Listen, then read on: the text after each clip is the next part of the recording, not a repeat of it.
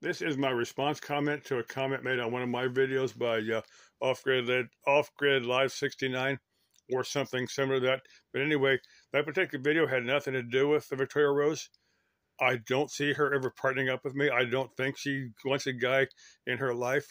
There's a couple other the female uh, YouTubers that uh, they're, they're, more likely to want to have a guy with them. You know, maybe on a temporary basis, maybe just do a, you know, um, one, you know, you know, just just one particular video I know uh, Wander Hussy has done videos with you know with other guys, so I can see myself, uh, you know, doing videos with them long before Victoria Rose would want to. But if Victoria Rose really, really wants to uh, do a video with me, if she, um, she wants a partner, I don't think I'm quite ready for the van life type thing yet.